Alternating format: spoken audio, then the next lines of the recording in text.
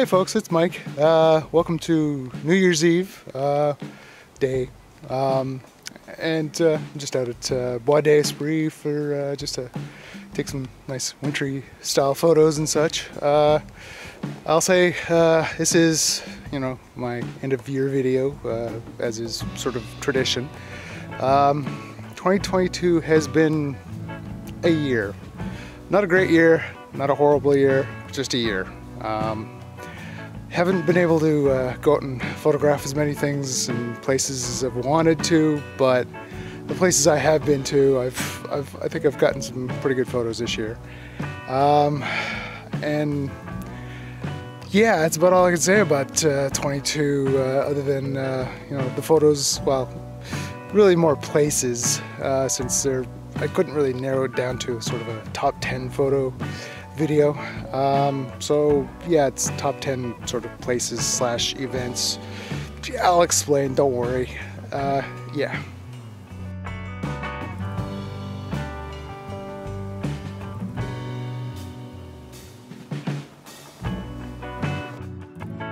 Of course, I haven't uh, recorded as many videos this year as I've, I've kind of wanted to. I only ended up with five, six this year.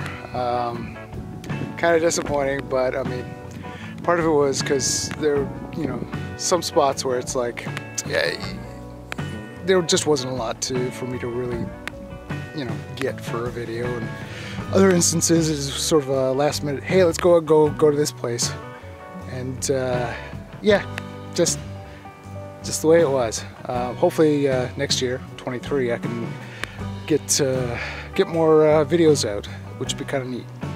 But uh, we'll find out, won't we?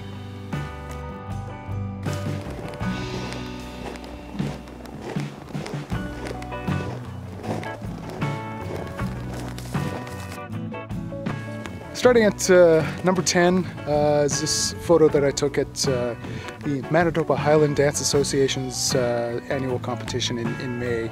Um, I was asked to be the, the official photographer for uh, the competition um, through my sister, who's with the Parents Association, and uh, yeah, it was it was fun, but it was also a long day and in a hall that was kind of stuffy and very little light, and uh, so I've you know had to uh, jack up the uh, the ISO on my camera to a point where Not normally comfortable shooting at, um, like 16, 32, 6400. But uh, the results were okay. Um, but you know, towards the end of the day, uh, you know, I got this shot, which is a nice sort of long exposure, you know, blurry photo shot kind of thing, and uh, yeah, I think it turned out okay.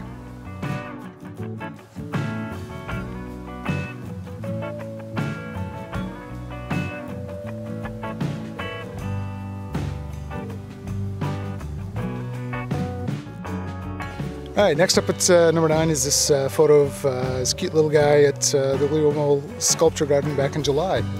Uh, typically, with when it comes to wildlife photography, I'm kind of a hit or miss, you know, uh, and if I'm not patient enough to, to stay anywhere for too long. So, yeah, it's yeah, I'm not great at it. Maybe I'll improve this year, maybe I won't, I don't know. But uh, it's a nice, you know, sharp photo of uh, a dragonfly, and uh, you can even see a little dent in one of his eyes, or whatever you want to call them. Yeah, another reason why I'm not a good wildlife photographer. I don't know all the terminology.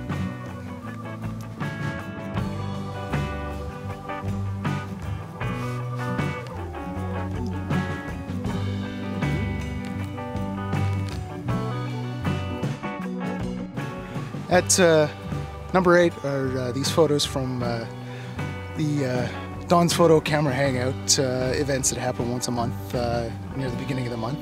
Uh, Don's Photo is a local camera shop chain in in Winnipeg and parts of Saskatchewan. I, I, proudly support them. They're great guys. love going out and hanging out with them. my wallet hates them, but you know, I like to ignore my wallet sometimes okay, maybe a lot, I don't know. But uh, yeah, I mean, with uh, this uh, this first photo, uh, it was from uh, a hangout back in uh, June where um, we're on top of the uh, the art space building in the Exchange District.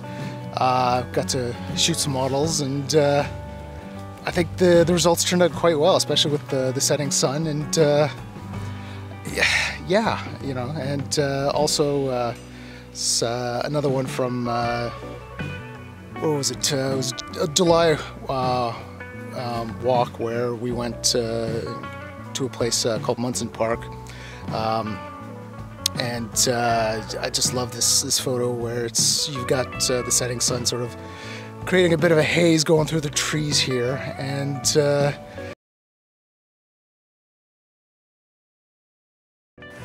uh, Uh, sorry about that. Uh, I was so rudely interrupted by a battery that just decided uh, to die, so I had to switch out batteries. Anyway, the third uh, photo from this uh, this series of Don's photo hangouts uh, was from a, a, photo walk in July at uh, the Exchange District, and uh, it's of uh, an alleyway that's recently been, uh, well, okay, it's December. It was probably done back in like June, uh, where they, you know, somebody strung up some lights in this this alleyway, and uh, it's a photo of my buddy Earl uh, looking up in, in wonderment, and uh, thought it looked like a good photo, so I took it. Go figure.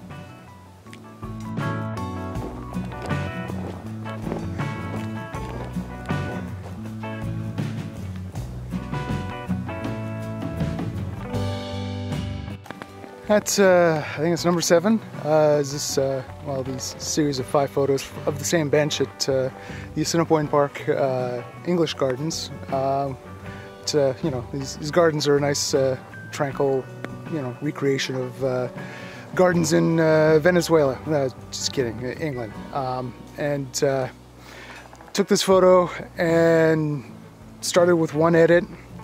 Figured, hey, let's try a different one, like that one tried a different one. Same idea, and so on. So I got five different edits of uh, the same bench, and I like how all five turned out. So congratulations, all five make it.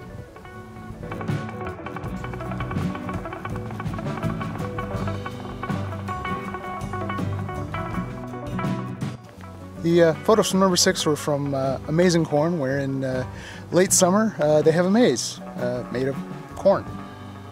Uh, kind of simple concept, but hey, you know, it works.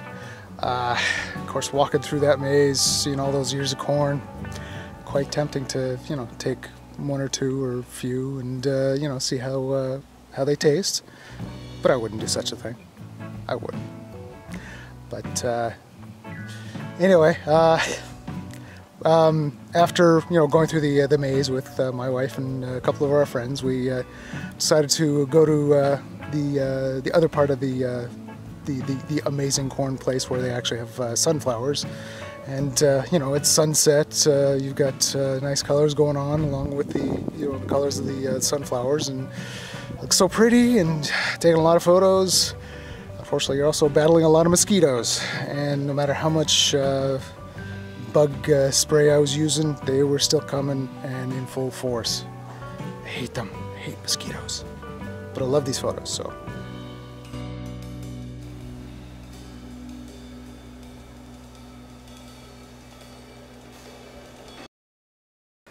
So uh, at number five uh, is this photo from uh, Grand Beach back in July, which you would have seen in my last video. Um, yeah, I mean, my wife, a couple of our friends, and I decided to uh, head to uh, Grand Beach to uh, get some photos of uh, the Northern Lights because I knew they were strong. Um, you know, that's what happens when you have a couple of Northern Lights apps and consult the uh, the weather app uh, just to make sure the conditions are right. Um, but uh, got there for just time for sunset and uh, at one point I decided to uh, slap on my 10 stop ND filter to you know, get some sort of, um, you know, long exposure shots of uh, the water coming in. And uh, it sort of has a bit of a nice dreamy look to it as well. Um, it's kind of a nice photo. I was definitely proud of it. And uh, yeah, what can I say?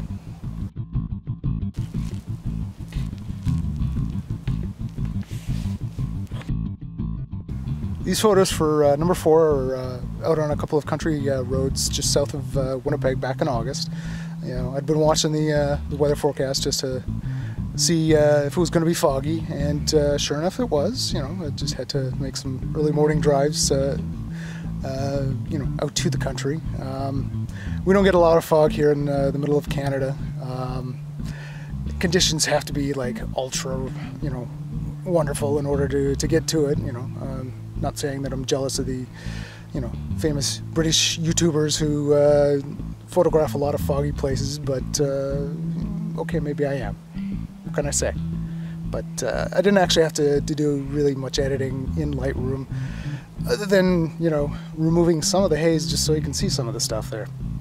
So, yeah, that's it for number four.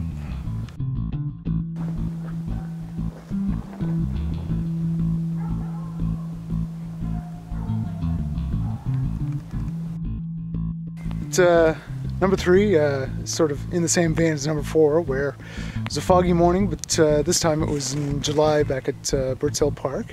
Uh, with Birds Hill Park, it helps that it's got a lot of uh, low-lying areas where fog can just sort of hang around, uh, you know, and just stay there for a while. I mean, like I've been there in the past where it's been there till like, you know, 10, 11 o'clock in the morning, and but uh, on this particular morning, my wife and I got there uh, early enough, probably about, I don't know, 5 a.m., where the sky was still like a dark pink and then, uh, you know, developed into some nice orange and yellow colors like you, you see in this photo. And uh, again, haven't didn't have to do a lot of uh, editing to, to get the colors to really pop and, you know, the, the fog to, well, I suppose fog doesn't pop, but, uh, you know, I didn't actually have to add any extra haze just to make it look better. But uh, yeah.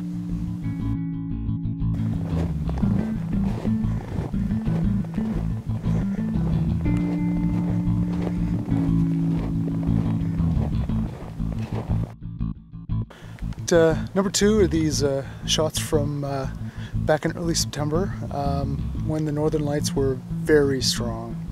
Uh, I, my wife and I uh, decided to uh, try and head out to uh, to Beausejour. Um, but I mean, when we traveled out of Highway 59, um, we just saw them dancing all over. So we had to pull over to a country road, um, you know, just off Highway 59, uh, north of 44. Probably a good half hour from Beausejour. But uh, I mean, they were, you know, to the west, to the north, to the east, and above, which is something you rarely see in southern Manitoba. You'd have to go to northern Manitoba to like Churchill or Thompson to see that. Uh, it was it was amazing. Um, I even got to take some photos with with my phone, and they turned out awesome. You know, and uh, the, the, the lights are dancing for a good I don't know hour and a half, two hours, and uh, but of course, um, you know, had to to leave. Got a couple hours of sleep had to work uh, that day as well. So yeah, that was fun. Uh, and then uh, sort of kind of repeat it later that night, but uh, awesome.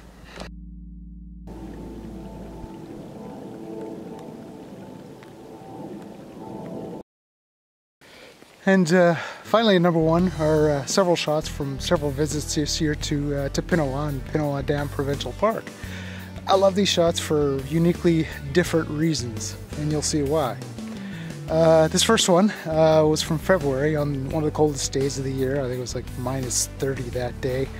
Uh, I will say I was quite amazed that uh, the water was still flowing. I was, I was expected to be like completely frozen.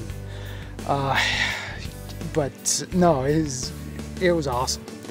However, the not so awesome part was trying to get to there uh, a lot of deep snow. Uh, had to park out on uh, the road leading to the park, uh, and it was exhausting. And uh, even when we got into the park, um, having to, to navigate the snow-covered boulders, didn't know where they really were because you can't see them, and so I had to use my tripod just sort of as a walking stick. Um, this next one was from June or July. No, it was July. Uh, it was a nice Milky Way shot, and uh, um, you know it's uh, several different uh, stacked photos of the uh, the Milky Way, uh, just to reduce the the noise because you know I'm shooting at such a high ISO. and did some light painting on the foreground and blended the the two together in in Photoshop and kind of proud of it because my my Milky Way shots before have really been kind of subpar. of course, it didn't help that you know it was battling mosquitoes. no matter much how, how much bug spray I was using, they were still attacking, which I hated even with uh, a uh, you know mosquito netting over my head, they were still getting to me. Hate mosquitoes. Although I prefer mosquitoes over like you know venomous snakes and spiders and such. Uh, yeah. And uh, finally, uh, this photo from from October.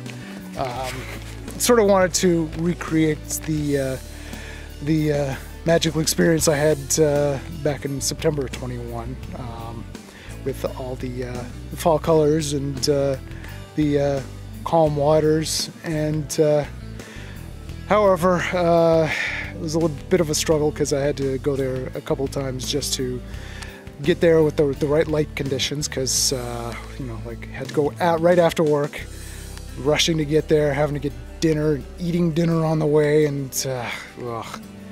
but I think it was worth it because you know got some nice shots out of it including, um, well, the one that you see in this photo, which I've actually used for my phone case, which, you know, I think is awesome. Kind of why I chosen probably as my number one photo. So yeah.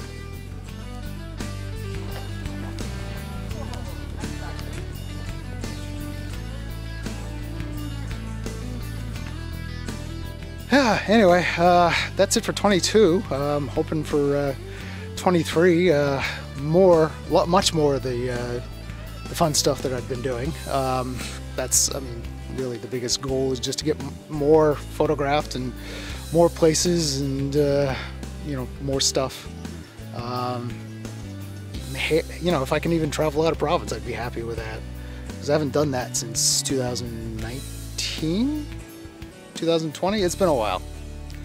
Uh, so yeah, at, at, that point, I'll wish you a happy new year and uh, do the usual like, comment, subscribe. Take care, folks. Where'd the snakes go? I mean, they're they're around here somewhere. I mean, come on, they can come out and wear like a scarf and toque and roam around. Not, not like there you know any predators around here. Here, snaky, snaky, snaky, snaky. Here, Sneaky, sneaky, snaky. Come on out, guys. Where'd you go?